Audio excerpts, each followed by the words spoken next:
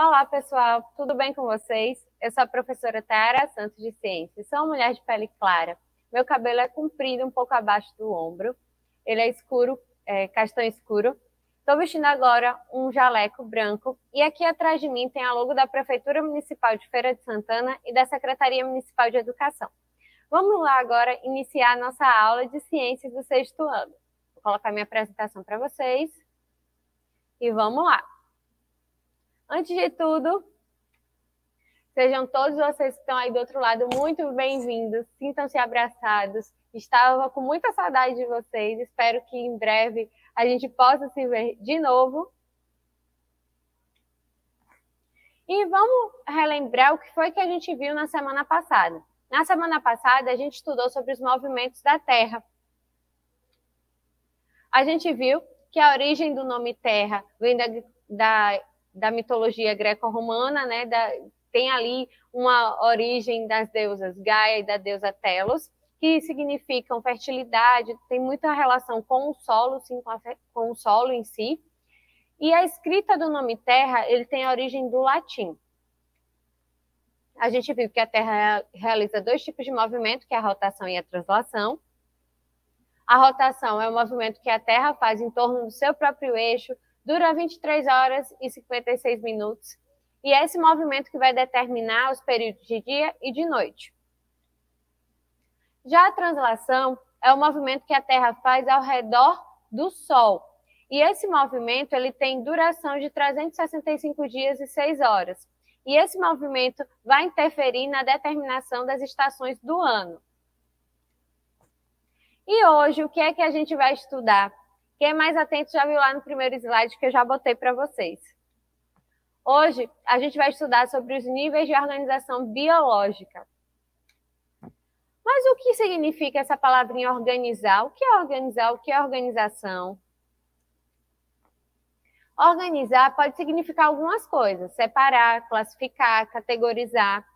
E os seres vivos, como eles são muito diversos, né, tem muitas características, eles são classificados dentro de algumas categorias. E para a gente é, compreendê-los, a gente precisa fazer desse jeito, porque tem muitos seres vivos aqui na Terra, e se a gente fosse estudar cada um separadamente, seria muito trabalhoso. Então, a gente classifica eles dentro de alguns níveis de organização.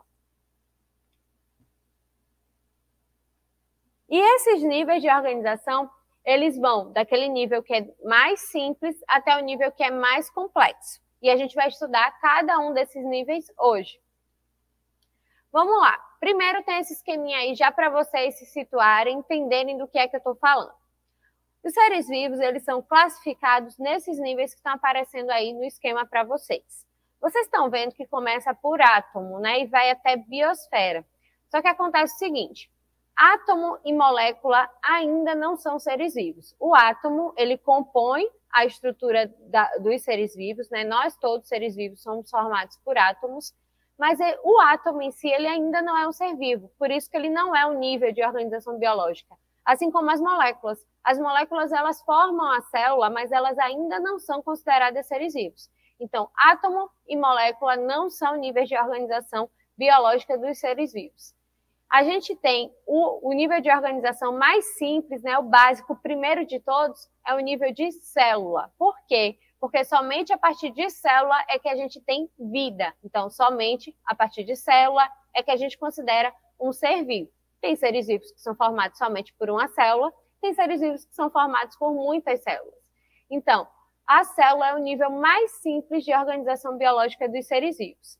Quando essas células elas se organizam, se agrupam ali, exercem a mesma função juntas, aí a gente tem um tecido.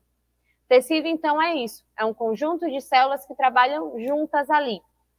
Quando esses tecidos se organizam, eles formam um órgão.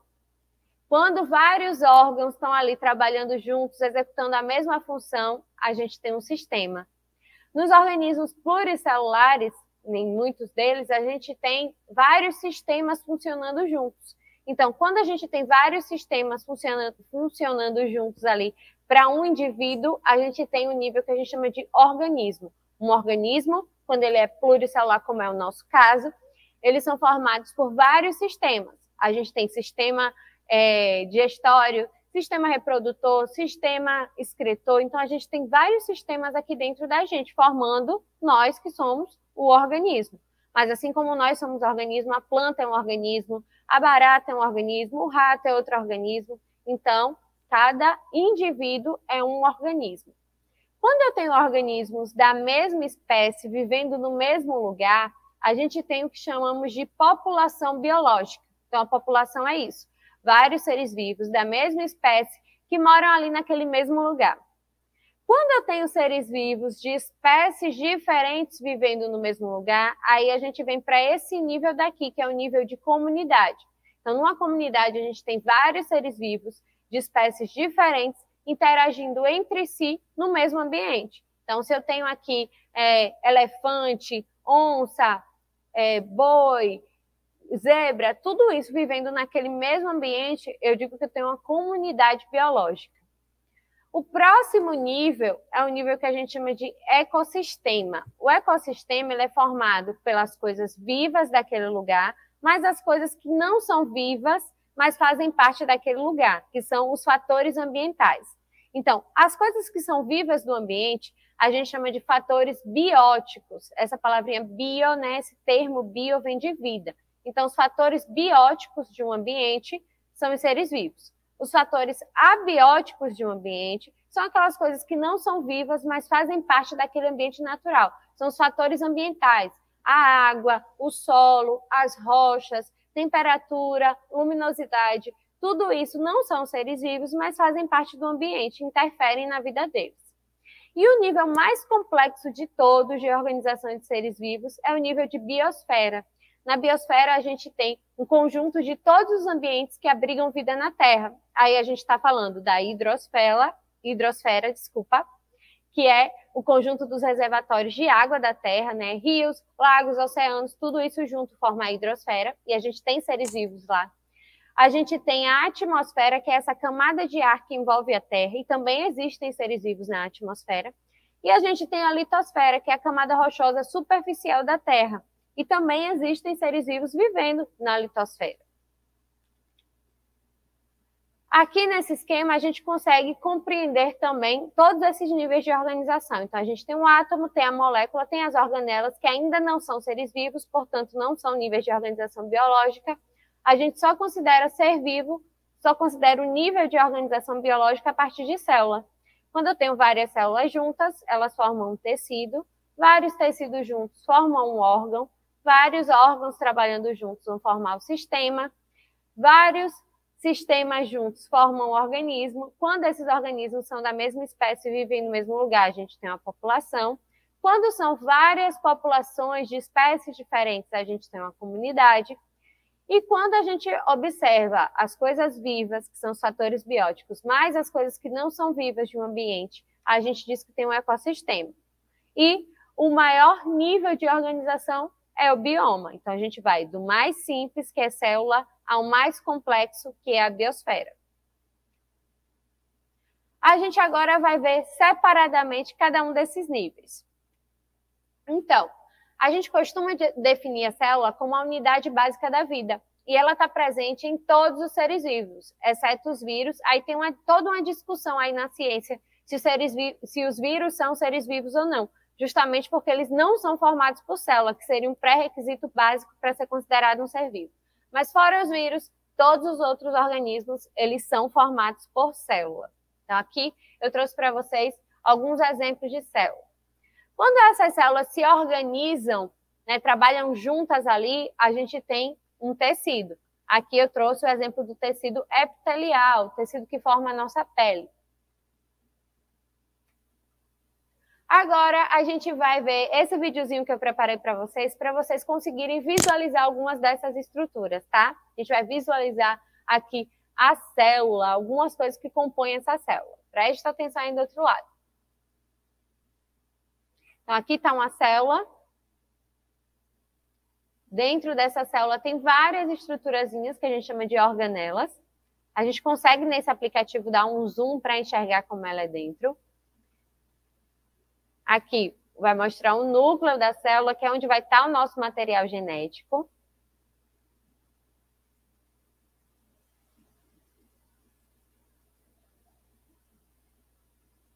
Esse aplicativo também apresenta é, organela por organela, que são as estruturazinhas que estão ali presentes na célula. Aqui eu estou colocando para vocês um outro tipo de célula. Aquela anterior é a célula animal, que é a célula que a gente tem. Agora a gente vai ver uma célula vegetal, a célula das plantas e das algas. Então, ela também tem essas estruturas, que são as organelas, que estão aqui dentro. A gente está vendo agora uma molécula de DNA, que ainda não é um ser vivo, né? O DNA não é um ser vivo. Ele forma as células, mas ele ainda as moléculas formam as células, mas ainda não são seres vivos. Aqui uma outra molécula de carboidrato que ainda não é um nível de organização biológica, só a gente, a gente só considera a partir de célula. Aqui as, vai, aparecer, vai aparecer agora uma organela que a gente chama de mitocôndria, que está presente nas nossas células. E agora o cloroplasto, que está presente nas células vegetais e tem a função de realizar a fotossíntese nas plantas e nas algas. E agora chegou um momento que eu sei que vocês aí do outro lado adoram, que é a hora de testar o que a gente aprendeu até aqui. Então, bora lá. Vamos para um fast quiz. E para isso, vocês precisam pegar caderno ou uma folha, um lápis e a caneta para anotar as respostas de vocês, porque vão ter algumas perguntinhas aqui e vocês vão anotar a resposta correta e depois a gente faz a correção, tá? Então, vamos lá, adiantem aí, peguem o lápis, peguem o caderno e vamos lá para o nosso Fast Quiz, que é o nosso joguinho de perguntas e respostas aí rapidinhas. Vamos lá. Primeira pergunta. O maior nível de organização biológica dos seres vivos é letra A, célula, Letra B, biosfera. Ou letra C, ecossistema. Vamos lá. 30 segundos para vocês.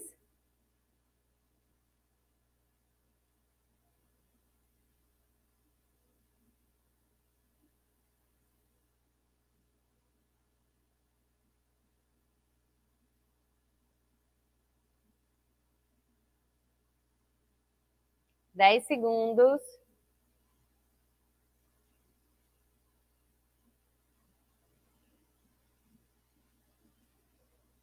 Vamos para a próxima. O menor nível de organização biológica dos seres vivos é átomo, é a molécula ou é o organismo? 30 segundos.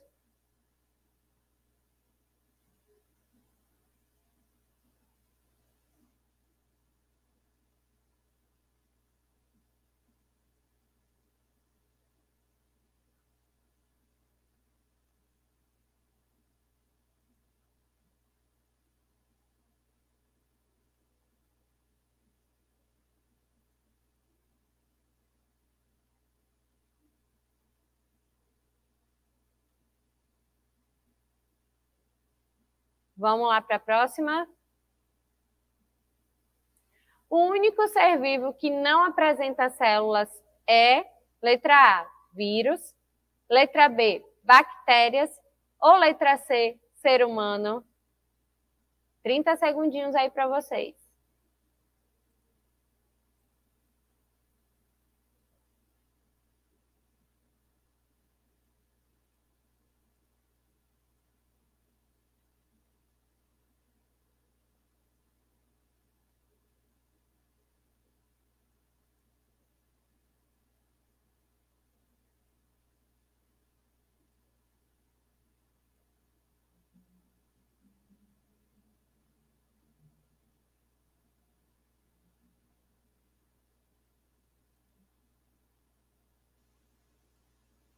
Vamos para a próxima.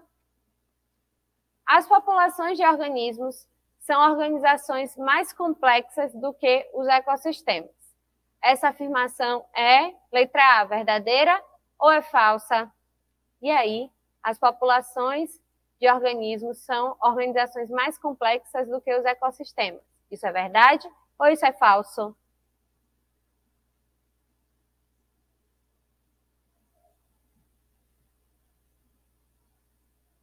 15 segundos.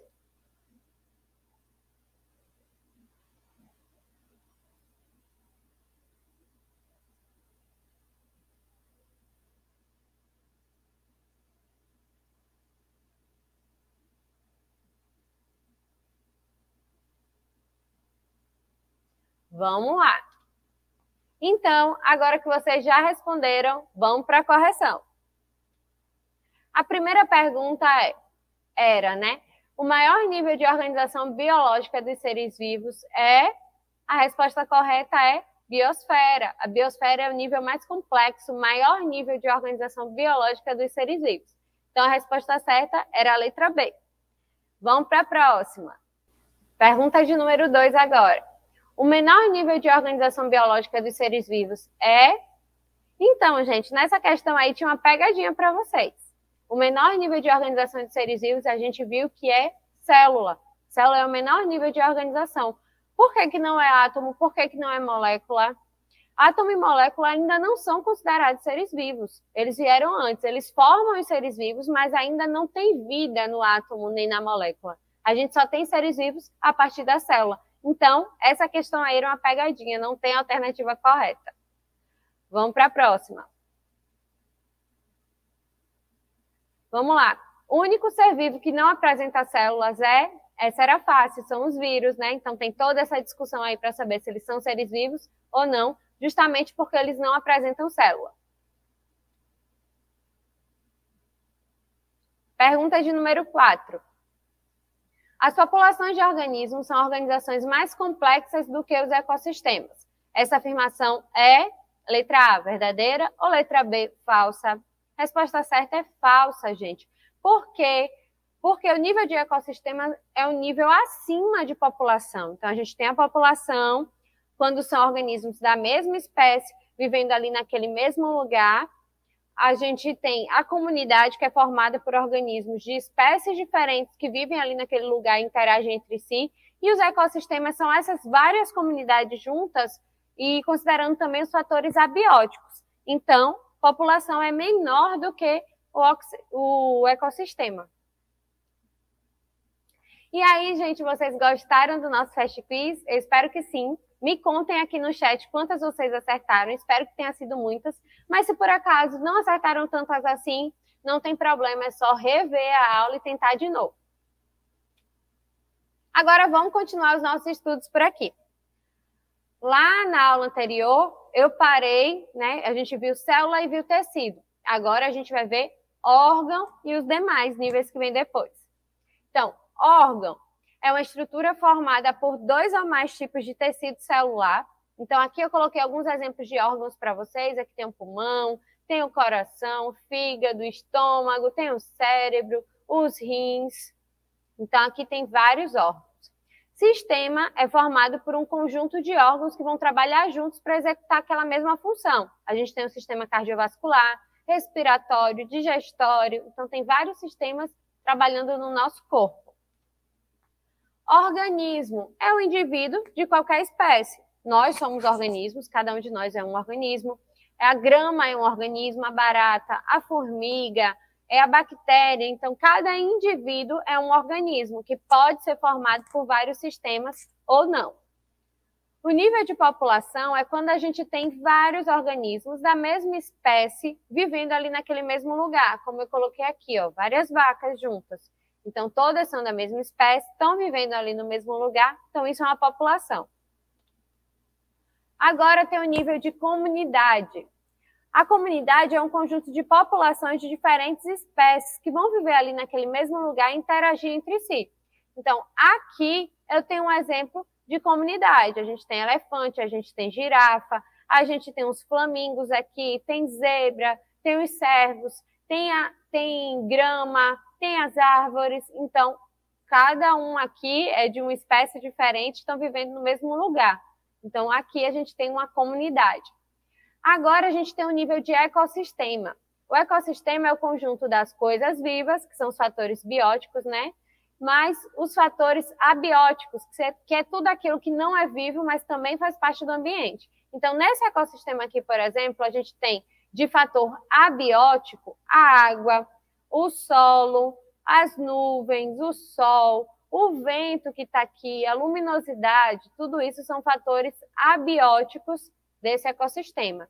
E os fatores bióticos quais são? Os peixes, as algas que estão aqui, as flores, a grama, o sapo, a abelha, tudo que for ser vivo é fator biótico desse ecossistema.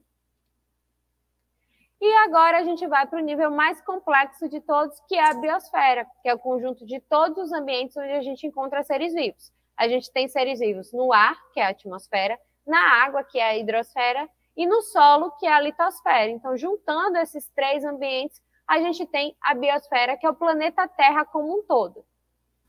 Então, agora que a gente já viu cada um desses níveis detalhadamente, vamos ver se vocês aprenderam direitinho, tá? Vamos lá então. Tem mais uma atividade aqui para vocês. Primeiro, qual é o nível que está sendo representado nessa imagem daqui?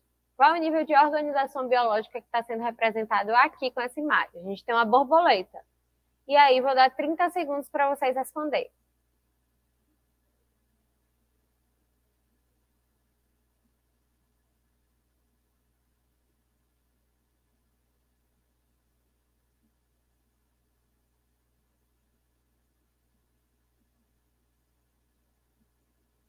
Cinco segundos.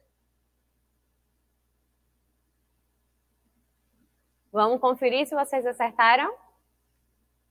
O nível que está sendo representado nessa imagem é o nível de organismo. Eu só tenho um indivíduo. Então, se eu tenho só um indivíduo aí, eu tenho um organismo, tá? Vamos mais adiante. Tem mais dois exemplos. Qual o nível que está sendo representado aí nessa imagem? Isso daí, gente, é um formigueiro. Acho que não está dando para vocês verem direito, mas aqui tem umas formiguinhas entrando aqui, ó, carregando as folhinhas aqui para dentro do formigueiro. E aí, o formigueiro representa qual nível de organização biológica?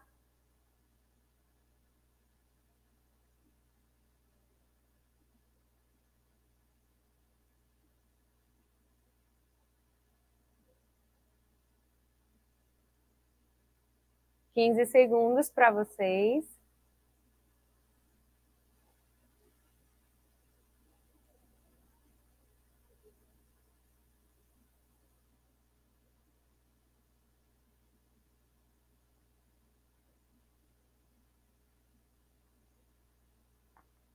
Vamos conferir a resposta. O formigueiro representa uma população. Eu só tenho formigas ali, todas da mesma espécie, vivendo naquele mesmo lugar, interagindo entre si. Então, isso é uma população, tá? Vamos para a próxima. E nesse exemplo aqui, o que é que a gente tem nesse exemplo? Tem uma coruja, tem os leões, tem umas plantas aqui, tem grama, tem as flores. O que é que isso representa?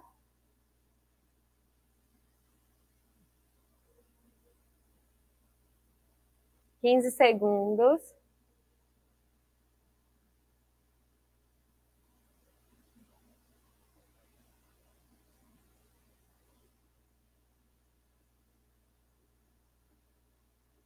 E vão conferir a resposta. Nesse exemplo, a gente tem uma comunidade. A gente tem os leões, que são o leão, né, que é de uma espécie, a gente tem a coruja, que é de outra espécie, a gente tem essas plantinhas maiores aqui, que são de outra espécie, a gente tem essa árvore aqui, de outra espécie, a gente tem as flores, a grama aqui, cada uma de uma espécie diferente, e todas estão convivendo ali naquele mesmo espaço, interagindo entre si. Então, a gente tem uma comunidade.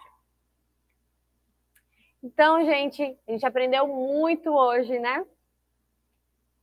Por hoje, nós vamos parar por aqui. Vocês vão ficar aí com os professores de vocês, da escola de vocês. Aproveitem esse momento para tirar as dúvidas, façam as atividades, aproveitem. Eu vou ficar aqui morrendo de saudade de vocês, mas em breve a gente já tem um encontro marcado na nossa próxima aula. Então, fiquem aí, se cuidem. E eu espero vocês na próxima aula. Tchau, tchau, gente. Até lá.